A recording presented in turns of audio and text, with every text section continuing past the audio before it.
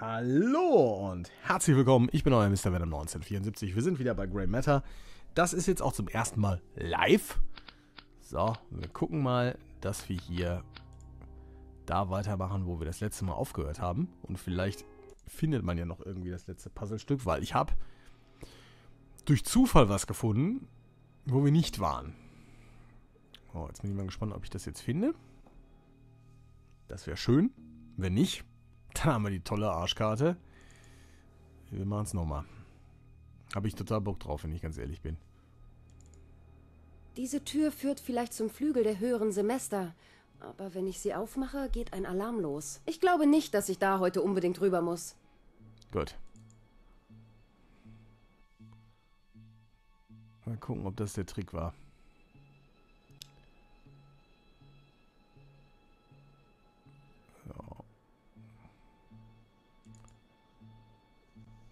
Raus. Jetzt gucken, ob gleich jetzt irgendwas passiert.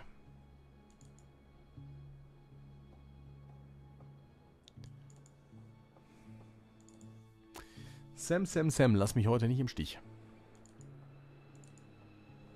Ja, die Tür haben wir uns definitiv nicht angeguckt damals. Und das kann ja nur irgendwie ein Fissel, Kleinigkeit, irgendwas sein.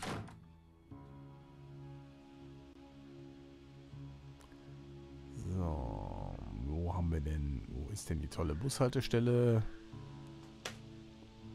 Ah, wie gut, dass ich mich hier noch auskenne. Nämlich gar nicht. So.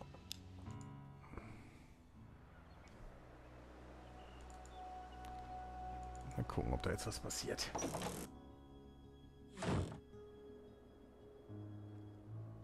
Nicht wirklich. Nicht wirklich.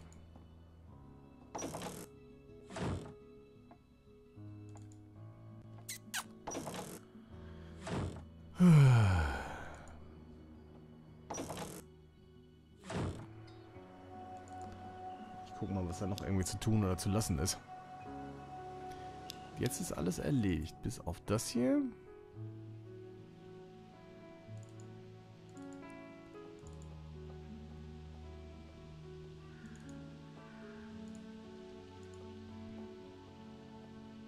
Hm. Ein Münztelefon. Zwar ganz schön altmodisch im Zeitalter von Handys, aber es kann nie schaden, einen Plan B zu haben. Richtig. Tja. So, das ist 100%. In jeder Herde gibt es ein schwarzes Schaf. Bonuskapitel ist auch abgeschlossen. Also müsste eigentlich nur noch das schwarze Schaf da sein. Ich mache mal folgendes. Ich gucke mal. Vielleicht habe ich ja doch noch Hoffnung. Ich habe nicht unbedingt Bock, das zu wiederholen, wenn ich ehrlich bin. Lalala. So, schwarzes Schaf. Ich habe heute übrigens eine tolle Tofu-Erfahrung gehabt und habe gelernt, dass Tofu gekocht genauso schmeckt wie roh, nämlich na nix. Interessiert euch bestimmt brennend, aber ich erzähle es trotzdem. Morgen gucke ich übrigens Tor 3 übrigens. Also nicht Zong, und, sondern wisst schon, ne? Der mit dem Hammer. Lalala, so.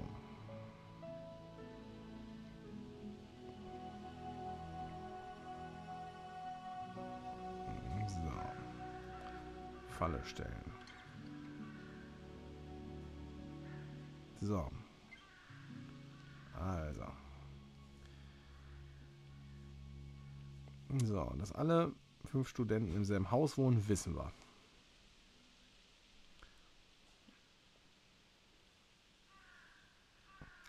So, in dem Zimmer waren wir.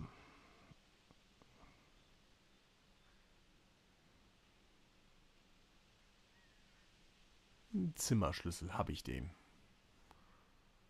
Ja, habe ich.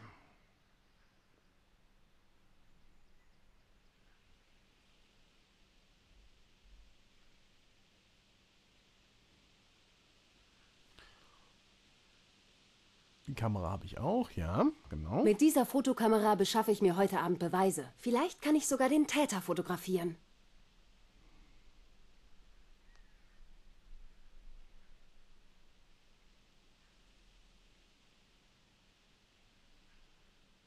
So, in Charles Zimmer war ich.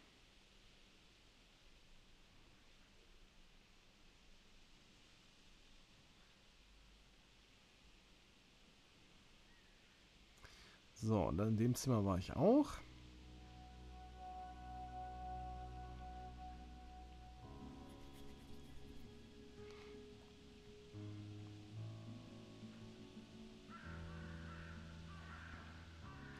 Geschichte mit dem Kracher habe ich gemacht. Das Drehbuch habe ich mir angeguckt.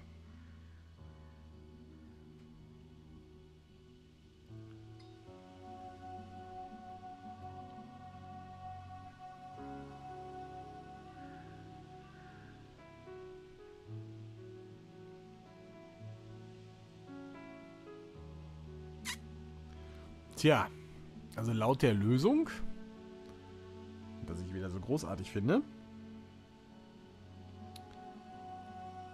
wäre eigentlich alles gemacht.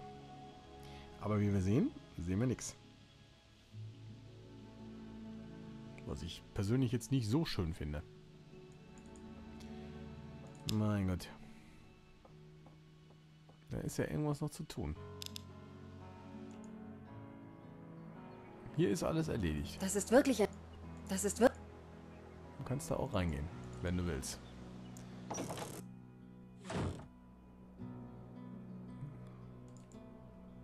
Sollte sie hier im Gang sehen. Tut sie aber nicht. Hier sollte jetzt Dr. Stalz äh, mit dem Hasen kämpfen. Das tut er aber auch nicht. Super. Großartig. Tja, dann würde ich sagen, Asch geleckt und äh, dumm gelaufen. Gut. Dann laden wir mal. Und Gott sei Dank ja ein leeres Kapitel. Ja, das weiß ich. So, auf geht's.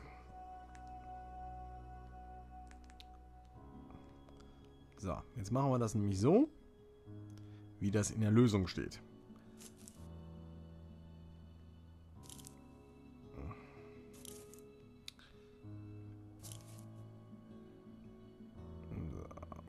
So, Kapitel 4, Tag 3.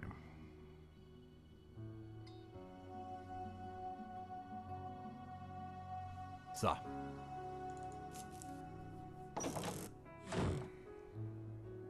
Ich habe gerade im Radio gehört, dass es gab da einen Vorfall in der Schwimmhalle von St. Edmund Hall. Und Sie haben von einem weiteren Vorfall am Abend zuvor auf der Horsepath-Laufbahn berichtet. Was ist in der Schwimmhalle passiert? Ich will, dass Sie sofort dorthin gehen und herausfinden, was genau dort vorgefallen ist. Ich brauche einen detaillierten Bericht. Sie wollen, dass ich mir die Sache für Sie vor Ort ansehe? Naja, ich habe für so etwas keine Zeit. Sam, Sie müssen meine Augen und Ohren sein. Ich tue mein Bestes. Worauf warten Sie dann noch? Dass ich Ihnen die Anweisung schriftlich gebe? Los!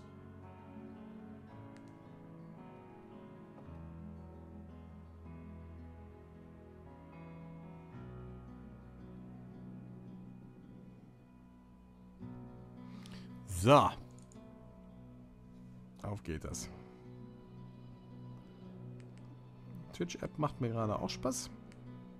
Läuft total alles. Heute läuft wieder alles. Merk schon. So, zwei Zuschauer haben wir. Grüße an Zuschauer 2.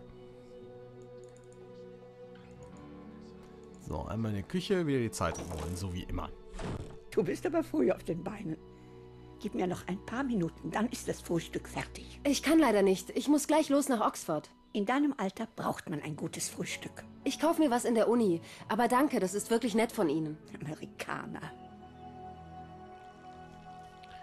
So, jetzt schnappen wir uns die Zeitung. Das kennen wir ja schon. Scheinbar hat heute Morgen schon wieder jemand die Zeitung gebracht. Ich habe das Gefühl, jemand will, dass David von diesen Vorfällen erfährt. Richtig.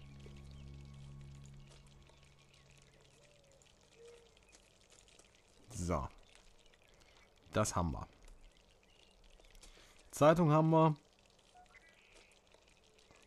So, nach Edward. Na, Moment, Moment, Moment. Machen wir ganz Nummer sicher.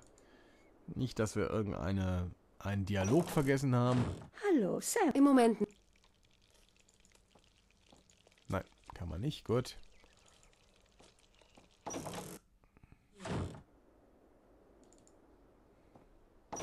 Ich lasse das jetzt übrigens hier mal äh, mit dieser Space-Taste nah, weil einfach dann kann ich es ein bisschen beschleunigen. So. So, einmal rein. Erstmal den Plan angucken.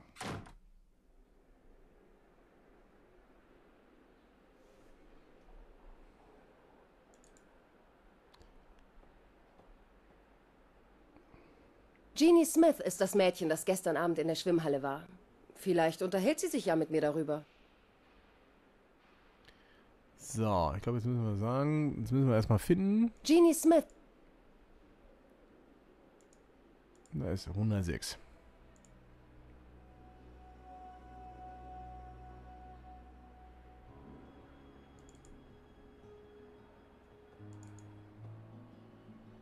Hier, mein Studentenausweis. Lassen Sie mich mal sehen.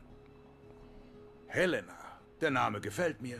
Schöner Name, schöne Frau. Danke. Ich glaube, hier im Wohnheim gibt es noch eine andere Helena. Mal sehen. Machen Sie sich keine Mühe, ich kenne sie. Rote Haare, ein nettes Mädchen. Kann ich jetzt gehen? Ich bin spät dran. Das sind sie doch alle.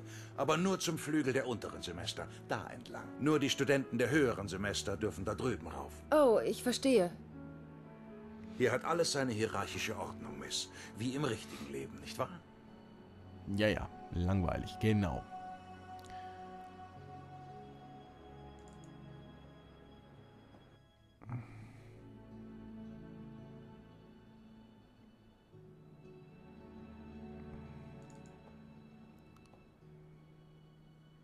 Helena? Helena? Keiner da. 100? Hä? So, müsste das nicht 106 sein?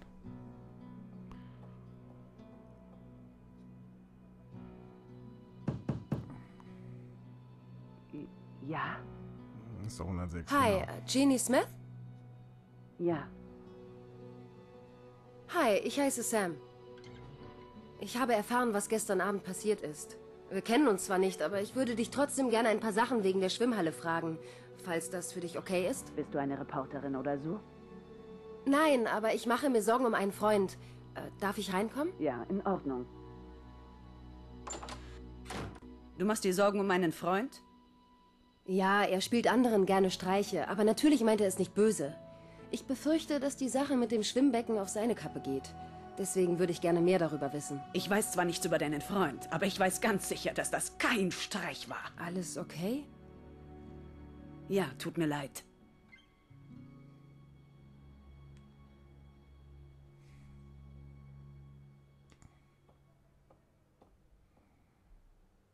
Kannst du mir sagen, was genau passiert ist? Ich wollte gerade ins Schwimmbecken steigen und habe meine Badekappe aufgesetzt. Ich war nicht ganz bei der Sache, weil ich über eine Hausarbeit nachgedacht habe, die ich noch schreiben muss. Plötzlich habe ich eine Gänsehaut bekommen. Die Luft wurde ganz trocken, fast so, als sei sie elektrisch geladen. Ich habe mich umgesehen, um herauszufinden, was da los ist. Und dann habe ich es gesehen. Im Wasser. Es war schrecklich. Wie viele Personen waren zu dem Zeitpunkt im Becken? Nur zwei Mädchen. Sie waren schon im Wasser, als ich in die Halle gekommen bin. Ich, ich habe geschrien, dass sie rauskommen sollen. Kennst du sie? Ich kenne sie aus dem Schwimmbad. Sie haben mit der Sache nichts zu tun. Schließlich sind sie genauso erschrocken wie ich. Wann ist es passiert? Ich bin ungefähr um 23.30 Uhr runter in die Schwimmhalle gegangen. Vielleicht zehn oder 15 Minuten später ist es dann passiert. Was hast du im Wasser gesehen? Mir glaubt doch eh keiner. Ich kann es nicht mal richtig beschreiben. Versuch's bitte. Ich glaube dir. Da war. Es sah aus wie ein Umriss unter der Wasseroberfläche. So als ob sich etwas im Wasser bewegt. Aber da war nichts. Da war nur ein menschlicher Umriss im Wasser. Aber sonst nichts. Gott! Ich weiß, es klingt verrückt, aber es war böse. Ich habe es gespürt. Mich bringen keine zehn Pferde mehr in die Nähe des Beckens. Am liebsten würde ich nicht mal mehr in diesem Gebäude sein. Ich will einfach nur nach Hause. Dieser Umriss im Wasser. Könnte es Farbe gewesen sein, die jemand ins Becken gepumpt hat? In der Zeitung steht, dass das Wasser rot war. Nein, das ist erst danach passiert. Ich habe gesehen, wie dieser Umriss bis zum anderen Ende des Beckens geschwommen und dann wieder umgekehrt ist. Wie ein Schwimmer, der seine Bahnen zieht. Und dann hat sich langsam die Farbe des Wassers geändert. Als hätte dieses Ding, dieser Umriss, das Wasser eingefärbt. Das werde ich mein Leben lang nicht vergessen. Tut mir leid, aber ich will nicht mehr darüber reden. Ist schon okay. Danke, dass du so offen zu mir warst. Es geht mich zwar nichts an, aber du hast gesagt, du willst das Studium hinschmeißen. Tu's nicht. Weißt du überhaupt, wie glücklich du dich schätzen kannst, weil du diese Universität besuchen darfst? Im Ernst. Ja, du hast dich übelst erschreckt, aber ich bin mir sicher, dass das nur ein Streich war. Zugegebenermaßen ein ziemlich ausgeklügelter. Du darfst das nicht persönlich nehmen. Du warst halt zufällig zur falschen Zeit am falschen Ort. Lass dir doch wegen so einer Sache nicht die Zukunft ruinieren. Das ist es echt nicht wert. Ja, du hast natürlich recht. Danke. Wirklich. Man sieht sich.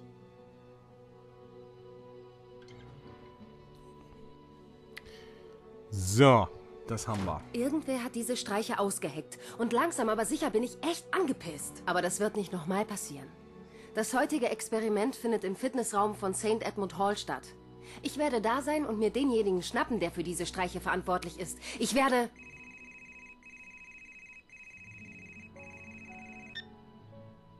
Hi, Sam hier. Treffpunkt Innenhof von St. Edmund Hall. Jetzt, Süße. Äh, klar, bis gleich. Wenn man vom Teufel spricht.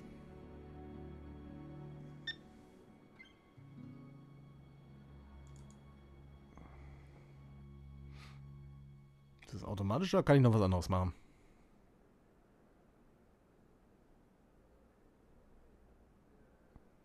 Ich möchte gern weiter. Ich bin raus. Für heute reicht's mir. Ich habe genug Geld verloren. Aber deine Glückssträhne stand kurz bevor. Vergiss es. Ich komme sonst zu spät zur Vorlesung.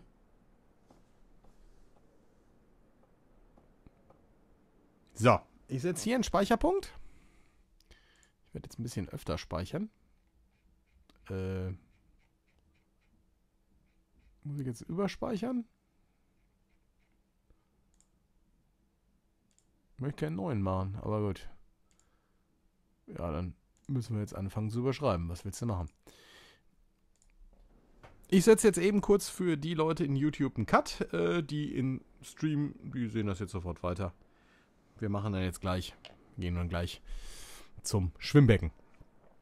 Bis gleich.